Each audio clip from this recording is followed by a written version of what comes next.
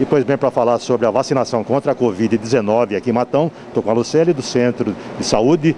Lucélia, época de festas, né? Está tá me contando que houve uma diminuição na procura por vacinas, né? É, teve uma pequena diminuição, né, na, na, no número de vacinados. Hoje está bem lento, assim, né? Não tem formado, não tem vindo muita gente, mas é importante que quem não tomou a terceira dose ou quem não tomou a segunda dose e ainda quem não tomou nenhuma dose que venha fazer é, a vacinação. Sério, ainda existe pessoa que não tomou nenhuma dose? Ainda existe, pelo menos a semana que passada a gente ainda atendeu pessoas que não tinham feito nenhuma dose ainda. Qual é o argumento deles, Luciele? Algumas pessoas que não querem tomar, não sei por qual motivo, algumas que são influenciadas politicamente por é, pessoas, como que se diz, é, formadores de opinião, teve gente que já alegou questão de pastor, que orientou a não tomar. Então, assim, tem algumas pessoas que seguem aí algumas orientações que a gente não sabe de onde. E que não, não procede, na verdade. Não né? procede, com, com certeza não procede. Porque conforme é importante tomar a vacina, né, gente? A vacina está aí. Né? Eu acho que além de questões políticas, religiosas ou de qualquer que seja a ordem, as vacinas são produzidas por laboratórios é, renomados, né? Se a gente pensar em Butantan, aí a maioria das vacinas que vem para a gente de rotina, que a gente faz nos nossos filhos, né? Que a vida inteira a gente tomou, foram produzidas no Butantan, que é o maior fabricante de vacina.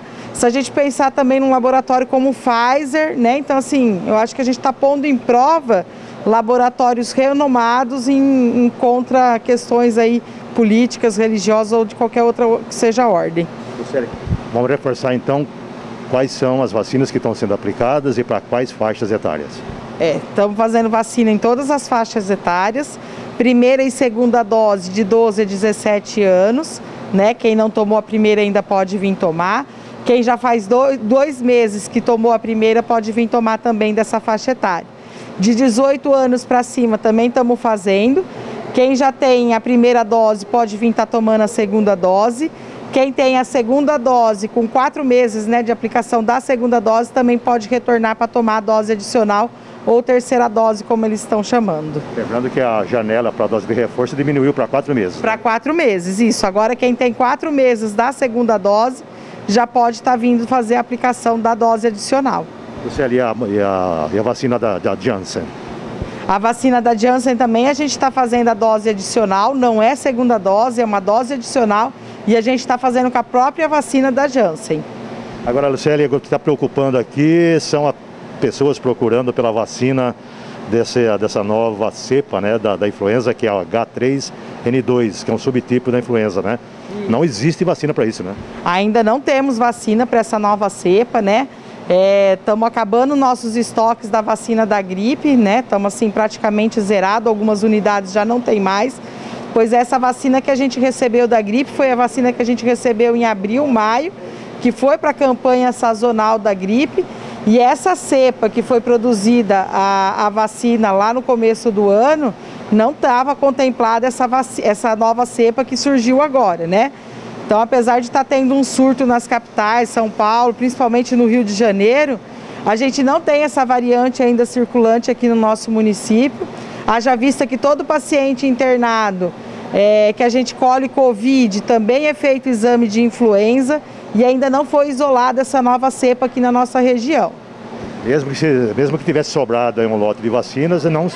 Não, ela não vai fazer a proteção contra essa nova variante, né? Porque essa vacina foi produzida no começo do ano, né, de 2021 e ainda a gente não tinha essa nova variante. Então, apesar dela ter três né, subtipos dentro da vacina, ela é trivalente, é, mas ela não contempla essa nova variante. Então não adianta essa busca achando que vai estar se protegendo contra essa nova variante e vindo tomar a vacina. E quem tomou a vacina esse ano, né, que seja em março, que seja em abril, julho, o mês que foi que tomou a vacina, já está protegido. Então não precisa fazer uma nova dose. Vou dar só um exemplo. Hoje veio uma senhora aqui que tomou em maio e queria tomar de novo. Então não há essa necessidade. Né? E também assim, reforçar, quem tomar agora, quando chegar a nova cepa em abril, maio, que é quando começa a campanha da gripe, também não vai poder tomar, pelo intervalo dos seis meses que precisa esperar. Então é importante as pessoas não fazer essa busca desesperada por conta desse surto desse novo sub, subtipo aí da H3N2. Só para reforçar então, essa esse novo, essa nova cepa não está circulando em Matão. Pelo menos não foi Não tem ainda. vacina para ela e se tivesse vacina também seria inócua, é isso? Sim, sim, lógico. Assim que chegar a vacina, a gente sempre faz a divulgação.